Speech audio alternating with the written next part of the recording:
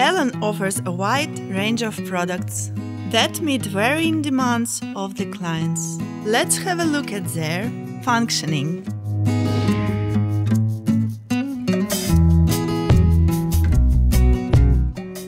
This is Alan's electrosurgical generator LC360D+, having maximum power of 400 watts, suitable for most of the surgical applications. Let's see the connections of the unit. On the rear side we have IEC power inlet connector, foot switch connector and equipotential pin. Let us do the connections. For the power inlet, push in the power cable.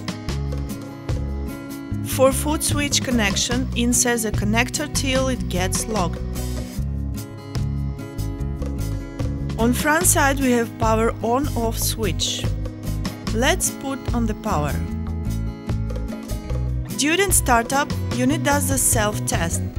If self-test is successful, it proceeds further, otherwise it gives an error message. Here we have patient plate status and type indicator.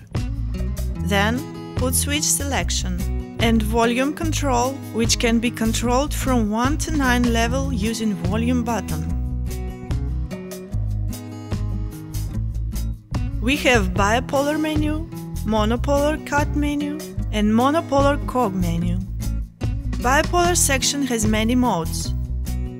The power can be varied using increase and decrease key.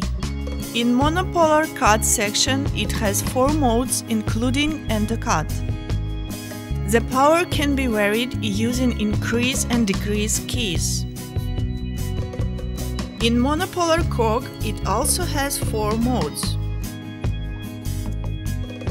The power can be varied using increase and decrease keys.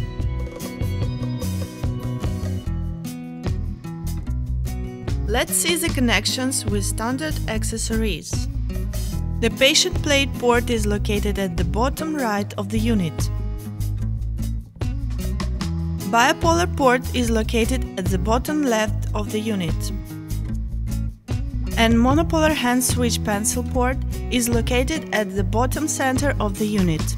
Let us see the functioning of the unit using the foot switch. Cut with yellow pedal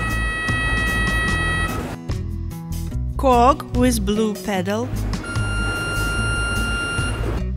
bipolar with light blue pedal.